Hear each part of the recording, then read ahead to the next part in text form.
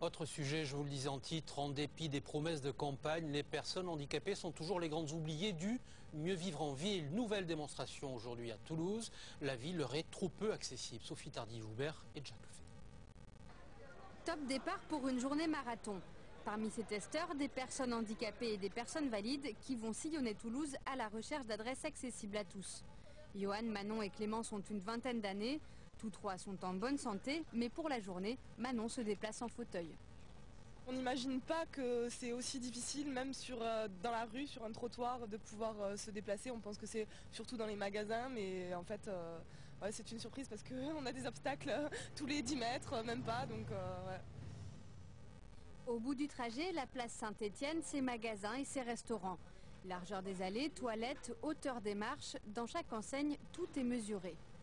Euh, circulation dans les allées aisée euh, Ouais, c'est assez large. En face, une épicerie fine sur deux niveaux. A priori, l'endroit n'est pas tout à fait adapté au fauteuil roulant, mais la disposition des lieux ne fait pas tout. C'est à nous de descendre les deux marches et aider la personne qui attend. Voilà, tout simplement. Les gens sont très accueillants et ont l'air euh, quand même sensibilisés à la cause. Et euh, même si leur magasin, par euh, enfin, ancienneté, on va dire, n'est pas forcément accessible à 100%, euh, eux se mobilisent pour euh, le rendre au maximum accessible. Résultat, un bilan plutôt positif. 250 adresses ont été recensées. Une bonne nouvelle pour tout le monde. La mobilité réduite, ça concerne une personne sur quatre en France. hein. C'est donc bien au-delà de la question du handicap. Voilà, puisqu'il y a les mamans enceintes, il y a les, les parents avec une poussette, euh, il y a les personnes qui ont eu un accident, qui sont blessées temporairement, les personnes euh, âgées qui ont du mal à se déplacer, etc.